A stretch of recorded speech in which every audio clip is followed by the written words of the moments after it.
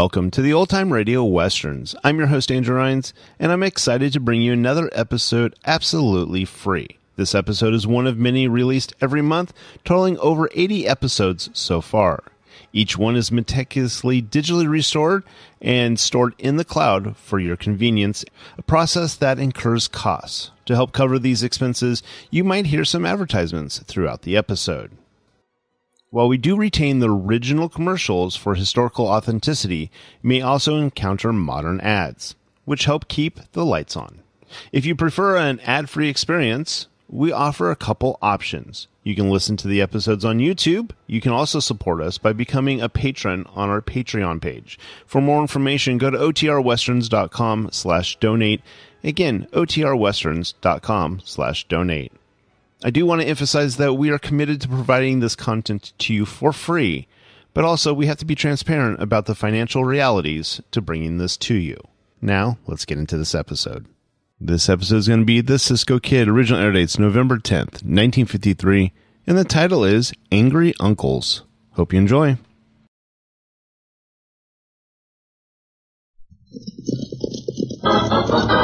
Here's adventure. Here's romance. Here's the famous Robin Hood of the Old West. Cisco, the sheriff, he is getting closer. This way, Pancho. Vámonos. The Cisco Kid.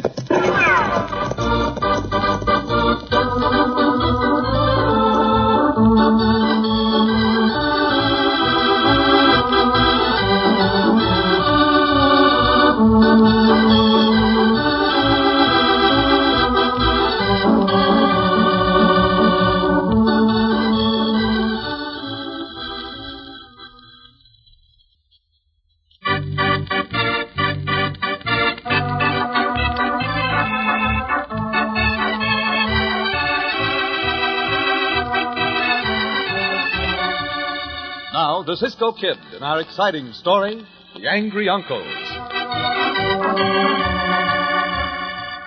On the books of almost every town in the country are obscure statutes which, originally conceived to meet some local condition, later seem to have no rhyme or reason. Indirectly, one of these statutes in the old western town of Pine Flats nearly cost the famous Cisco Kid his life. As our story opens, Cisco and his constant companion, Pancho, are just entering the Pine Flats post office. Cisco, how'd you know the mail for Cisco here? Pancho, I have told you I do not know whether there is any mail for me or not, but I'm going to find out. Uh-huh. Have you anything for the Cisco kids, Senor Postmaster? Yeah, take a have, Cisco. Yeah. Here's a letter forward from Adobe City. And you got your mail for Pancho from Porfirio, say your postmaster? Nope. Hey, that cousin in the Lord. Set your book here with the postmaster's the first select man and... Your pardon, Senor. Why don't you look where you're going, you clumsy galoot? Perhaps you should look where you are going, Senor. Hey, Cisco not run into you. You run into Cisco. Honest thunder, I have a good mind. All right, easy, Sykes. This ain't worth fighting over. Come on. Next time, keep your eyes open. I recommend you do the same. Come, Pancho. I'd like to look at the town press. Who that hombre, Cisco? I've never seen him before, Pancho. Hmm. But the hombre with him is Waldo Freeman, a no-good gambler who comes over here a lot from Adobe City. Ah, enough of them. Yeah. Let's stop here in the shade, amigo, and see what this letter says. Pancho still not see how a letter come here for Cisco. Pancho, I'll explain once more, and that is all. Explain, explain. Have all my mail come to the post office at Adobe City. See, Adobe City. Then I leave word with the postmaster at Adobe City where I want my mail forwarded. Mail forward. In this case, I left word for him to forward it here to Pine Flats. Oh, see, see, now Pancho understand. And the postmaster at Adobe City write to everybody Cisco know and say, uh, Dear everybody, Cisco now at Pine Flats, no? No, no, no, Pancho. I'll. Oh, never mind. He's not important. Ah, this letter's from Senor Frank Collins. Senor Collins back east, Cisco? See? What he say? What he say? Tell Pancho. Says his daughter Sarah is coming west to Pine Flats to visit his two brothers, Senor Robert and Senor Theodore. How the either visit Senor Robert and Senor Theodore when they not speak to each other, Cisco? Oh, wait a minute, Chico. Let me finish this. go ahead, go ahead. Senor Frank writes that he did not tell the senorita his brothers are not on speaking terms for fear she would not take this trip. Not take this trip. And he wants us to meet the senorita when she arrives and explain the situation to her. See, and Senor Robert got a cafe on one side of the street, and Senor Theodore got a cafe on the other side of the street. According to the date of these letters, Pancho, we are too late to meet her at the train. Ah, it's too bad. She's been here for several days already, I would say. Hmm, Then what we do, Cisco, huh? All we can do is find which uncle she's staying with. Let us attend to that right now, Pancho.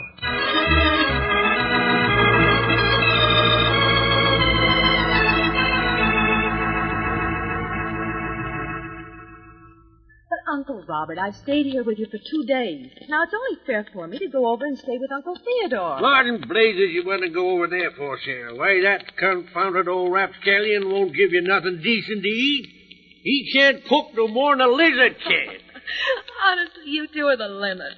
How long has it been since you were on good terms with each other? No, most ten years. And all because each one of you thinks he can cook better than the other. I didn't tell you that was the reason, Sarah. You don't have to tell me, Uncle Robert. I'm not stupid, you know. Well, you stay right here and keep away from that. Uh-oh. By George, there goes a customer headed for his place. Let me get my gun. Your gun! Oh, Uncle Robert. I gotta get him over here. That fool of Theodore will kill him. Now wait, for goodness sake. Hey, wait, mister. Don't go into that there cafe. The coffee's no good and the beans are moldy. Come on over here. Oh, good heavens, Uncle. What's that? You conniving scoundrel! Shut your mouth! I'll shut nothing. Don't go there, mister. You'll get poisoned. Come on over here. Hey, don't you do it, mister! That buzzard don't serve nothing but coyote bait! Now look here, Uncle Coyote bait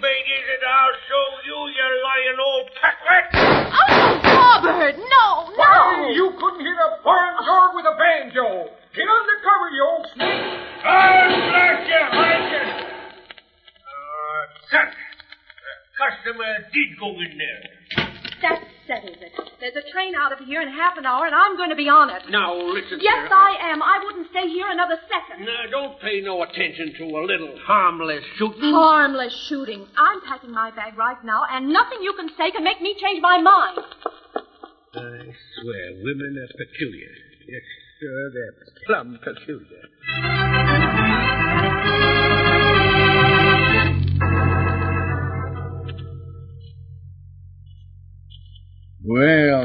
Quite an exhibition, Waldo. How long have those two old galoots been blazing away at each other like that?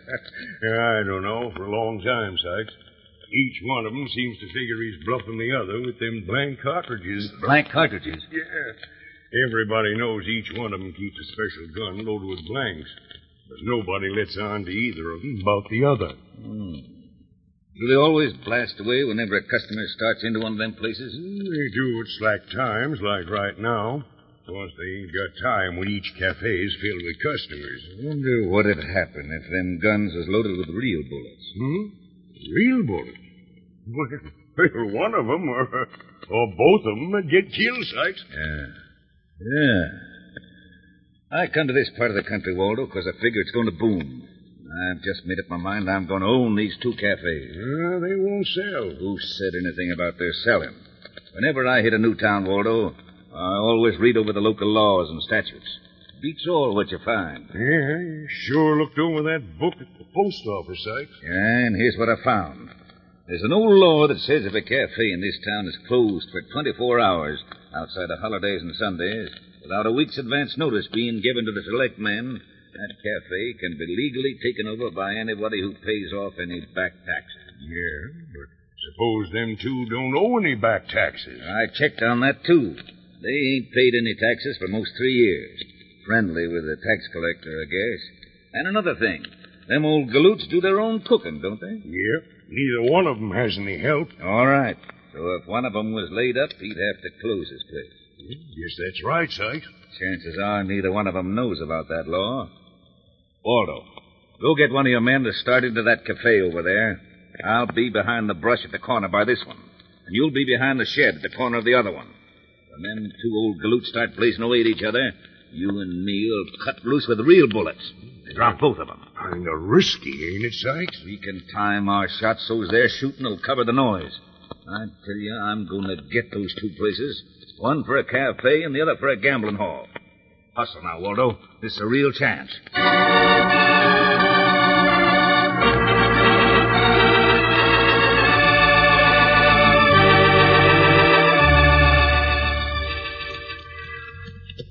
We'll try Senor Robert's place first, Pancho. Oh, Diablo. Oh, Ho, logo, ho, logo, ho, ho. Then, if the senorita is not here, we will go to Senor Theodore's place. Pancho here shooting a little while ago, Cisco. Ah, see. They were probably fighting over a customer. You might just as well save your breath, Uncle Robert. I'm leaving right now. Goodbye. Ah, senorita mad, Cisco. See, let us find out the trouble, Pancho. Buenos dias, Senor Robert. Uh, buenos dias, Senor Robert. Howdy, boys. Go. Uh, maybe you can reason with Sarah. Uh, go after her quick.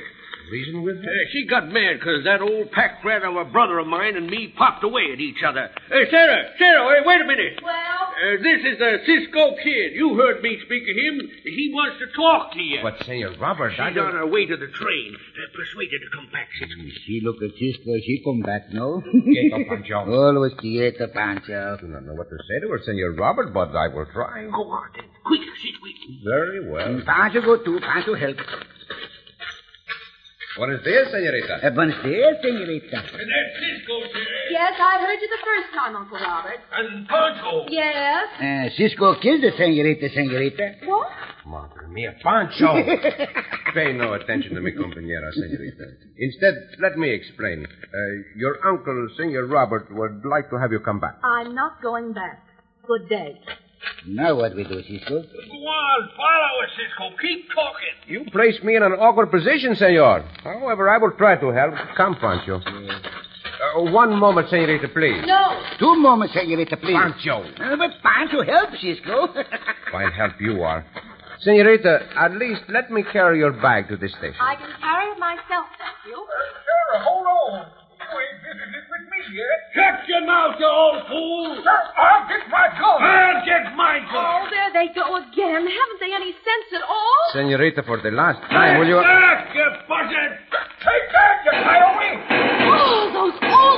But, senorita, that means nothing. Now, will you please listen? Cisco, Cisco, both senores down the ground, santos. Madre mia, so they are. I suppose that's all part of it, too. No, it is not. And Pancho think they've been shot, no? Yeah, looks that way, Pancho. But what- Come with us, senorita, and hurry.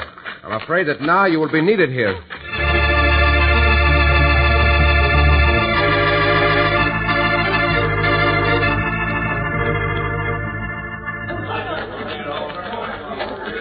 Stand back, amigos. Let us through here, please. Let us through here. I will look at his wound. Senor Theodore shot in the leg, Cisco. See. Here, let me see. Scoundrel, that's blackguard. Somebody go get my rifle. Get my shotgun, too. Uncle Theodore, stop it. Now hold still. Pancho, cut away that pant leg with your knife. Yes, Cisco. Oh, has anyone gone for a doctor? No, that is not a serious wound, senorita. Why, it's plenty bad, Cisco. See, it may keep you in bed for a few days, but it is not serious. Some of you carry him to his quarters while Pancho and I are looking at Senor Robert. I'm all right, except for a punctured shoulder. Just let me get at that old pack rat. Senor Robert live too, Cisco. Uh, sounds as if he would. Oh, thank goodness. But look, you man, please bring Uncle Theodore over to Uncle Robert's quarters. What? Yes, that's what I said, and that's what I mean, Uncle Theodore. If I'm to stay here and take care of both of you, I'm not going to keep running back and forth across this street. You heard what the senorita said, senores. Carry him to Senor Robert's quarters. No, no, I can't. I, I won't go over there. I won't stay under there. Oh, yes, you will, too. It's funny, Cisco. Hey. Then again, it is not so funny, Pancho. Not so funny. If Senor Robert and Senor Theodore have started shooting at each other with real bullets, that is serious. Why, Cisco say if they shoot at each other with real bullets. Pancho think they do. Probably you're right, amigo. Just the same, we will not take that for granted, Pancho. As soon as the doctor finishes with Senor Robert and Senor Theodore, we will start asking questions. A lot of questions.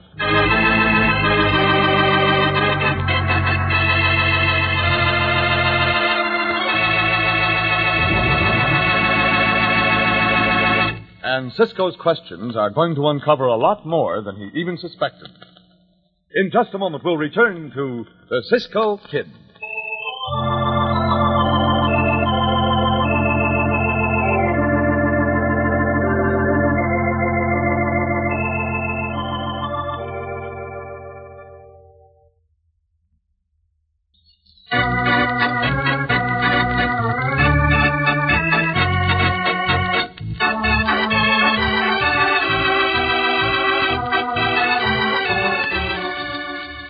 Back to the Cisco Kid in our exciting story, The Angry Uncles.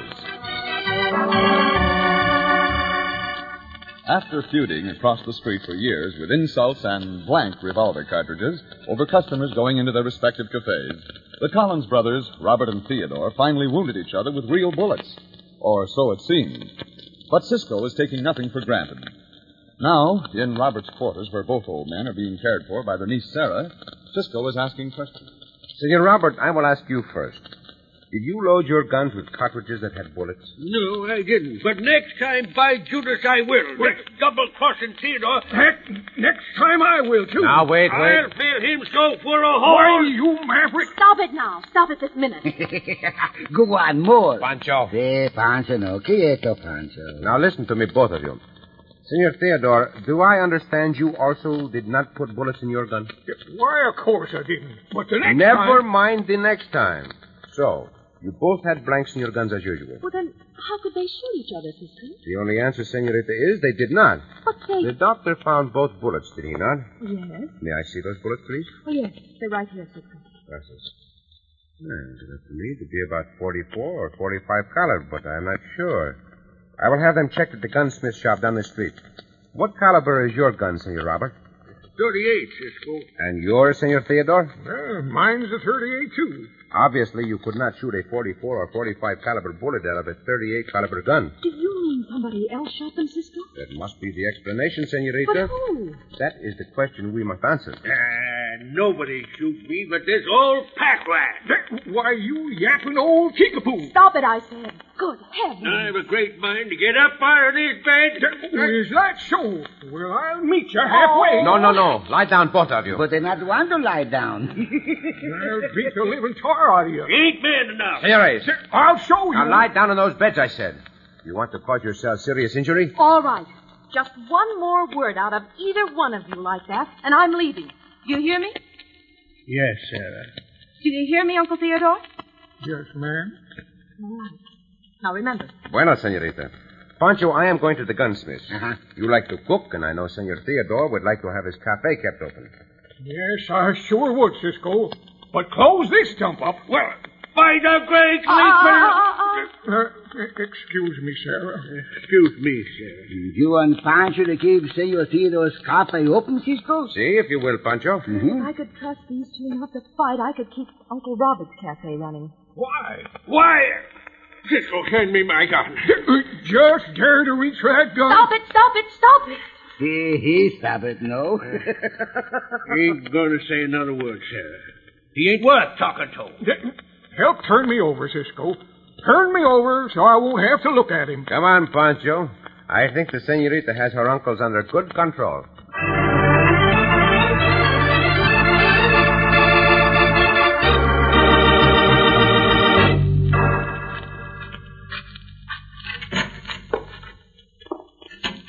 Hmm, nobody here for Pancho to sell food, too. It smells good. Oh, Pancho knows. When Pancho sell food to Pancho. Look, ooh, gooseberry pie. Mmm, mm, good gooseberry pie. And Pancho see donuts, too. And after Pancho eat the pie, Pancho sell Pancho some donuts, no? Pancho like to keep the cafe open. Uh, uh, buenos dias, senores. Um, Pancho sell you frijoles? No, And Pancho sell you tortillas? we ain't here to eat. We're in here to ask what you're doing in here. That's right. Oh, the hombres from the post office. Uh, hombre running to Cisco. Never mind that. Come on, answer my question. Pancho here to keep the cafe open for Senor Theodore. Oh. Gotta take it easy, Sykes. This here's the Cisco kid's partner. Uh, Cisco kid don't mean nothing to me. Let's have a look at your kitchen, hombre. Pancho not like the way you ask, but eh, Pancho showed you the kitchen. Uh, follow Pancho. It's a good kitchen, no? Not bad. And now Pancho sells you some food? No, I'm doing the selling with the butt end of this gun. That takes care of him. Now we'll drag him out back, then we'll nail up the door and see that this place stays closed for 24 hours. Grab hold, Waldo. All right. Hey. Huh? Wait a minute, Sykes. I hear somebody coming in. Pancho! Pancho, are you on the kitchen? She's coming out here, Sykes. Get ready to grab her. Get your hand over her mouth so she can't yell out. Are you out here, Pancho? Yeah, but he ain't doing no talking. Hand over her mouth, Waldo. Yeah, I got her. Hold her now. I'll tear up some of this oilcloth to tie her with. Give me some of 'em for a gag slice. Yeah, Here. Just hang on to her a second more. right. I got her. Might as well take it easy, ma'am. You ain't going to get away. Got that gag in her mouth, Waldo? Yeah, but it ain't a very good one. All it'll have to do for now. There. She's tied up plenty tight enough. By thunder, here comes somebody else. Pancho. That's Cisco Kid, Sykes. Come on. This time we'll gun him down. Pancho. Get gun ready, Waldo. I got it. Great snakes, that gag in the gal's mouth is slipping. Look out, Cisco! Uh, let him have it, Waldo. Well, gracias for the warning, senorita. No, do not shoot again, hombre. I'm using your partner as a shield, but only until I can throw him in your face. There, you both fall very easily. Take this gun out of the way. Now take that one away from you. I'll go get the sheriff, Cisco. Come on, Walter. We can handle him. Come on, let's go. There is no need to get the sheriff. Just get senorita. Madre mia, there's Pancho on the floor. If you hombres have hurt... Pancho, grab that carving knife, Waldo. No, I would not if I were you. The place for you is under that shelf, along with those pots and pans. Oh! oh Way, Cisco. Give it to him. Eh, eh, I will take care of him for the time being. Now I can give my attention to you. I'll uh, eh, you, Cisco. I'll kill you. Uh-huh. Anyone who brags like that should be among those pots and pans. Also. Beautiful, Cisco. Beautiful. Now, with this oilcloth, senorita. There, there you are. Now, I'll see to Pancho. You all right, Pancho? Um, Pancho not sells you food. Um, Pancho eat the food himself. He's all right, Cisco. See, as long as he can think of food, senorita, there is not much wrong with him. Ah, Cisco, hombres hit Pancho. They will hit no one else for some time to come, Chico. You may depend on that. What's going on here, Cisco? Oh, not much, Senor Sheriff. There's a little trouble with these two hombres. Incidentally, I want to look at their guns. Yeah, this is a 44 caliber. So is this. The gunsmith told me those bullets the doctor removed from Senor Robert and Senor Theodore were both 44 caliber. You had better question both these hombres closely, Senor Sheriff. Hit you on the head, Senor Sheriff. Look, look, a big lump. Yes, and they tied me up when I came in here to find Pancho, Sheriff. Now, I've been watching this Waldo hombre for some time. I, I don't know the other one. You'd better find out more about him. I sure will, Cisco. Grab hold of him, boys. Take him over to jail. All right. Now I can believe all the things I've heard about you, Cisco. See, and more too, Senorita. But, but, but wait, senores, wait. Now what? Um, Pancho runs Senor Theodore's cafe, and Pancho sells you some food.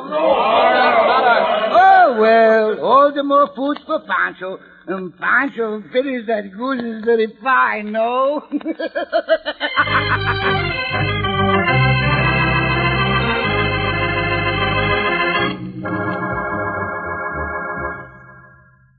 How are the uncles now, Senorita? Oh, they're getting along pretty well, Cisco. They've reached the point now where they'll look at each other. well, that is encouraging. Before long, they may even speak to each other. Who knows? But I do wish you'd talk to them about running just one cafe, Cisco. Well, if you think it will help. Oh, I do. They both have a very great admiration for you. Not that they're the only ones who do. Gracias, Senorita. I will remember that. I hope you will. Come on, we'll go in and see them. Here's Cisco to see you, darlings. Howdy, Cisco. Well, howdy, howdy. How's Pancho doing with my cafe, Cisco? Well, he is selling a great deal of food, Senor Theodore. To himself. How can he eat so much? I will pay for the food he eats before we leave. He's keeping track of it. Oh, forget the bill, Cisco. He's doing me a big favor. And You've done me a big favor. Yep, me too. I have done nothing, senores. But if you think I have, I am going to ask you to do me a favor in return. Well, name it, Cisco. That's all you got to do. I would like you both to consider running just one cafe instead of two. Just one. Uh, him and me in together. You do a much better business that way. See, you would. And I'm sure that if you both made up your minds, you would get along very well together. Uh, I don't know, Cisco. Well, I don't know either. Do not give me an answer right now. Think it over for a while. I will come back later. I'll go to the outside door with you, Cisco. Glasses. Hmm? I want to hear what they say. As you wish, senorita. Maybe we have been a couple old fools here, though. Maybe so, Robert. I'm getting sick of all this bickering. So am I. maybe we could do better by pitching in together and running just one cafe. Shouldn't wonder if it was we could. With you washing dishes and me cooking. What? You cooking? Why, sure. You don't know nothing about cooking. I don't. Well, by thunder, you flea-bitten old maverick. you. I can cook better than you can. Get somebody get my gun, quick! Oh, dear, I guess it's hopeless. Do not worry about it, senorita. It is natural for them to quarrel. That is their happiness. well, adios. And good luck.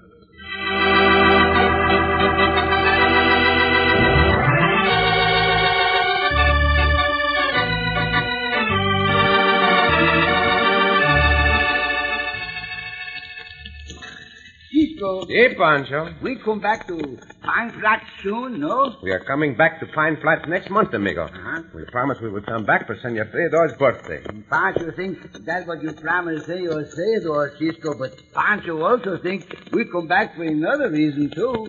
What reason is that, Pancho? So Cisco can see Senorita Stairs? Oh, well, possibly. Oh, well, possibly.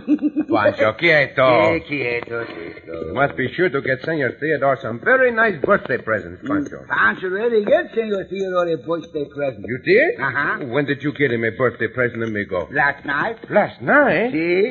Well, what was the present, Pancho? Pancho get Senor Theodore a custard pie. Oh, but Pancho, that is not the kind of a birthday present to give anyone. Pancho know. Besides that, a custard pie will not keep until his birthday next month. Pancho think of that after Pancho get the custard pie, Cisco.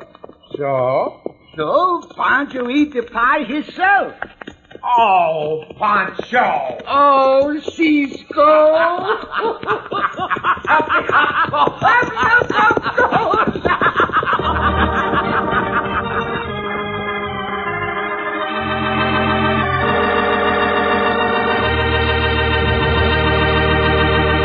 And so ends another exciting adventure with O. Henry's famous Robin Hood of the West, the Cisco Kid.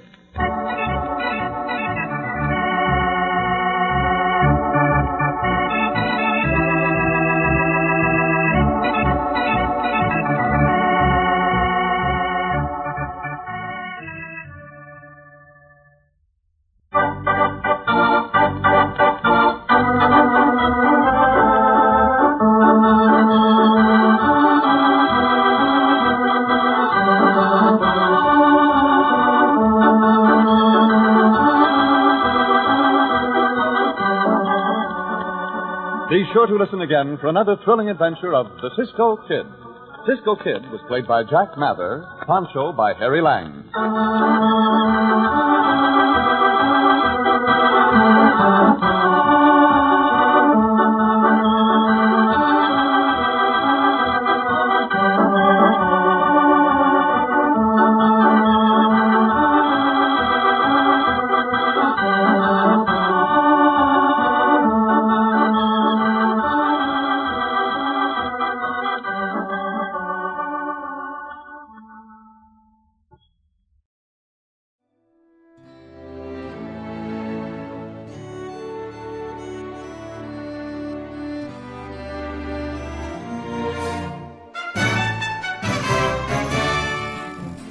This has been a presentation of OTRWesterns.com, and we hope you enjoyed. Please take some time to like and rate our shows in your favorite podcast application.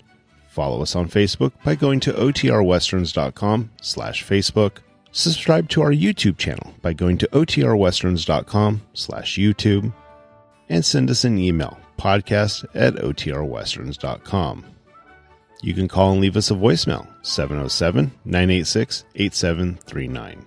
This episode is copyright under the attribution non-commercial share alike copyright. For more information, go to otrwesterns.com slash copyright. Have a great day, and thanks for listening.